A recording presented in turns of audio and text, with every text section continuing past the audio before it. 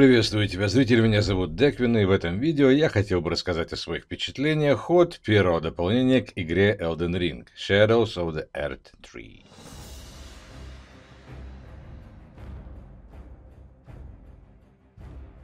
Сразу обозначу то, о чем я хочу рассказать в этом обзоре. Во-первых, это одно из дополнений, что вполне может считаться самостоятельной игрой.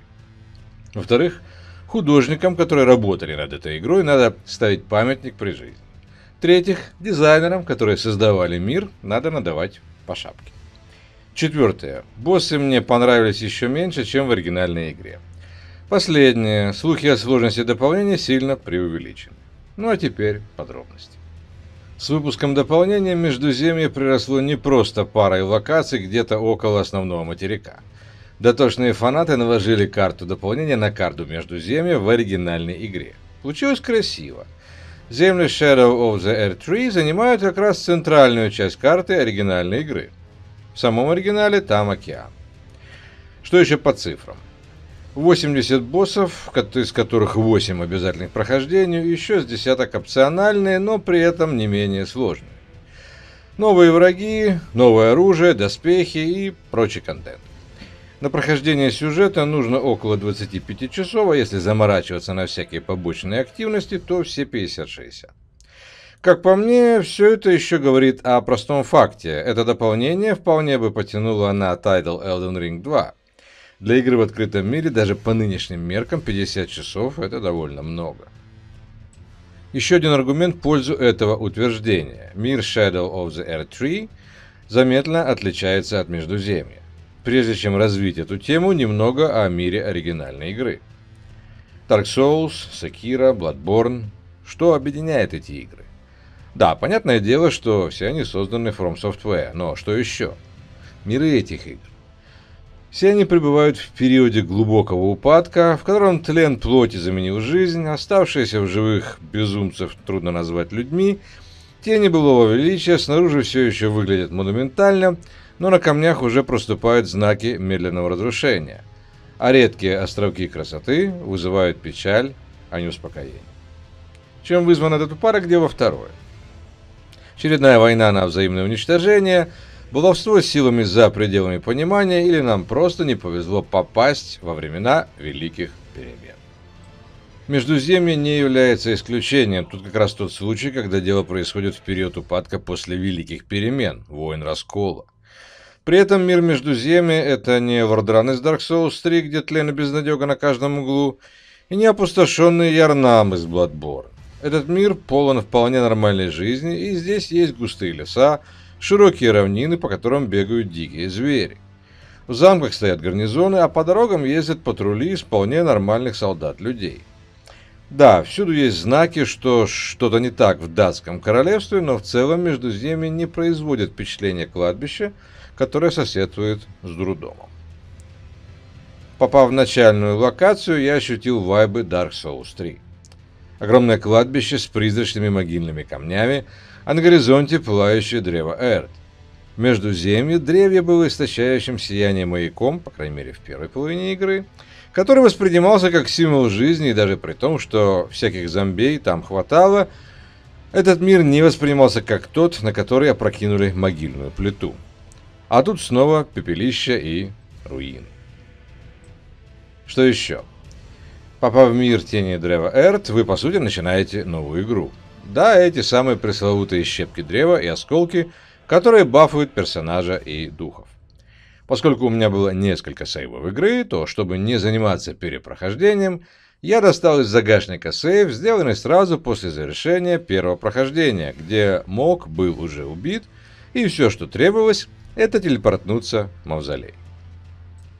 И вот перекачанный персонаж 187 уровня с реками крови врывается в новый контент с твердым убеждением в том, что вынесет тут сейчас все с полпинка. Первое подозрение закралось после того, как огненного великана удалось только чуть-чуть поцарапать. Ну ладно, все-таки великан.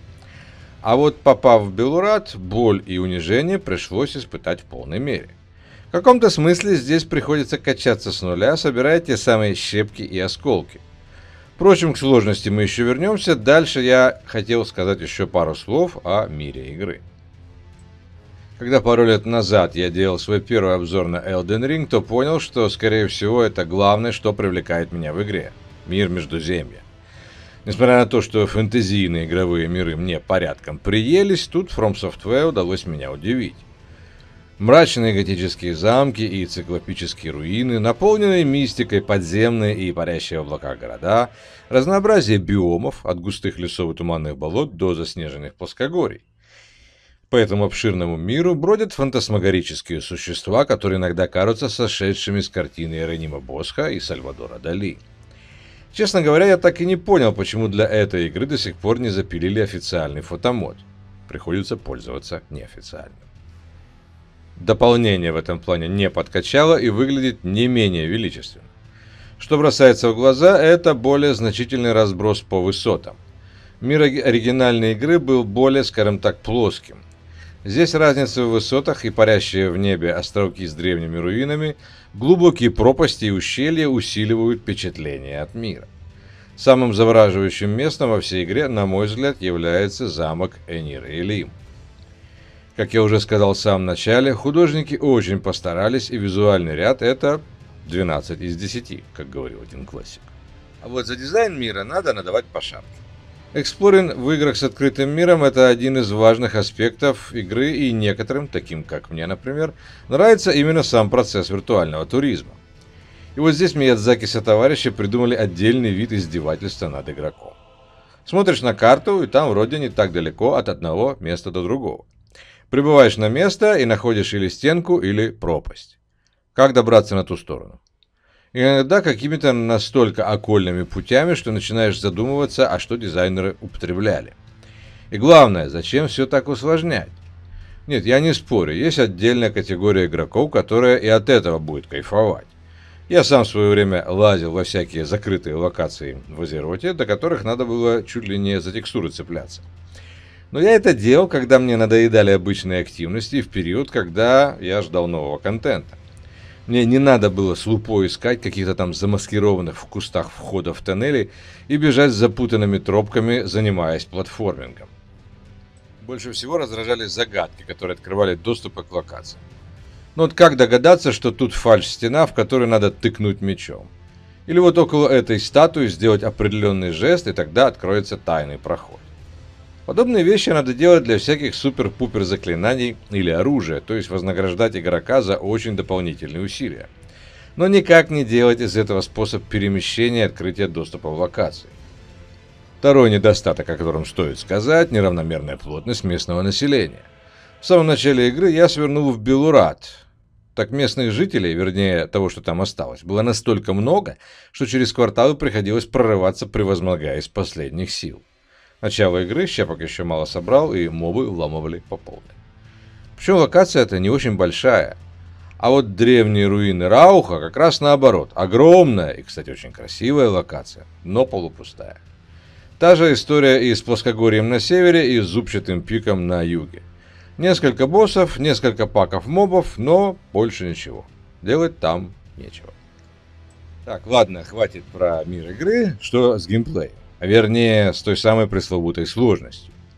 По первым отзывам игроков, сложность дополнения зашкаливала даже при общем признании факта того, что игры жанра сложны по определению. Могу подтвердить, что таки да, в начале дополнения было нелегко. Причем даже не с боссами, а некоторыми элитными мобами, которые крутили такие комбо, что окна, куда можно всунуть контратаку, практически не было. Да, такое было, но все решилось сбором щепок древа, и уже первый босс, танцующий лев, не вызвал особых проблем и отлетел с пятой попытки. Как и золотой гипопотам. Как, в общем-то, и Реланда. Я с удивлением посмотрел ролик, в котором ютубер с очень большой аудиторией убил ее после 600 попыток. А еще прочитал новость о том, что еще один ютубер потратил 60 часов на финального босса дополнения. Да, я знаю, что сообщество игроков в Souls-like довольно специфичное. Пару лет назад я сделал ролик по игре, и в комментариях мне рассказали, что я неправильно играю, что гайдов читать нельзя, что реки крови это слишком сильное оружие, настоящие игроки с ним не бегают, что с мимиком бить боссов это плохой тон. Короче говоря, в панамку там накидали. А равно и набросали правил, по которым играют трушные фанаты соузов. Да, но это не главное. Главное то, что эти комментарии подтвердили главную тему того ролика. Баланс в Elden Ring поломан. Это не Секира, в котором перекачаться не получится, или достать уберпушку. В Elden Ring хватает возможности сделать свою игру легкой прогулкой. Поэтому все эти разговоры о запредельной сложности – это все ерунда. Да, на первых порах, может быть, вас и будут возить физиономией по асфальту, но после того, как вы наберете щепок, большая часть игры особой сложности не представит. Я, честно говоря, даже билд не менял и пробегал большую часть времени с реками крови. Из нового оружия и самого дополнения пробовал Backhand Blade и Claws of the Night. А билд менял только для прохождения Радана, потому как его проще было танковать, чем вокруг него прыгать. Что до боссов, то я был несколько разочарован. А на мой субъективный взгляд, боссы в Elden Ring менее интересны, чем боссы Sekiro, Armored Core 4 и даже Stellar Blade. Чудище обла огромно, озорно, стозевно и лаяй. Хаотично прыгающие туши, размахивающие чем попало. Что особенно не понравилось, так это то, что несколько боссов тупо чаржатся в самом начале боя. Прошел ты такой через туман, а через 3 секунды в тебя на полной скорости влетает локомотив, сбивает с ног и потом начинает тупо долбить около входа. Золотой гипопотам, Месмер Колосажатель, Бейл, Радан – все они начинают бой именно так. Как по мне, совершенно дурацкое дизайнерское решение, которое только раздражает. Из всего того, что мне встретилось, понравились только Месмер Колосажатель, Мидра и Аватар Древа Эрт. Финальный босс, воскрешенный Радан, которого уже крестили самым сложным боссом соузлайков всех времен и народов, не впечатлил. Я увидел все тот же топорный дизайн, который был и в элитных мобах и других боссах. Радан тупо прет на тебя, практически беспрерывно нанося серии ударов, не давая опомниться. На второй фазе АОЕ бьет по такой площади, что надо бежать на другой конец стадиона – особого разнообразия атак нет, все движения Радана легко считываются. При этом со стороны игрока все сводится к тому, чтобы блокировать атаки Радана и время от времени тыкать в него палкой, а также смываться, когда он кастует то самое АОЕ. Честно говоря, мне больше понравился сам процесс подготовки к боссу и тестирования разных билдов. Пришлось сбегать в оригинальную игру за щитом и парой танковых амулетов, подкачать уровни 20 и повозиться несколько часов. Но я не увидел тут самого сложного босса от From Software. Тот же Исин или Филин Отец всекают куда как более мощно. Подведем итог. Да, по объему контента дополнение тянет на полноценную игру. Нет, это не лучшее дополнение к основной игре, которое когда-либо было выпущено. Да, контента много, и мир получился завораживающим, прекрасным и отвратительным одновременно. Его интересно исследовать, и награды за исследование весьма неплохие. Нет, эксплоринг тут далек от совершенства и переусложнен, что иногда превращает путешествие по миру в головоломку. Да, на первых порах вы будете получать по физиономии от местного населения. И нет, это дополнение не вывело сложность соус-лайков на новый уровень. Стоит ли покупать и играть? Если вам нравится Elden Ring, то однозначно да. 50-60 часов атмосферного путешествия вам обеспечено. Собственно, это все, о чем я хотел сегодня вам рассказать. Если вам понравилось видео, ставьте лайки. Если не подписаны на канал, подписывайтесь. Ну и, конечно, спасибо вам за внимание. С вами был Деквин.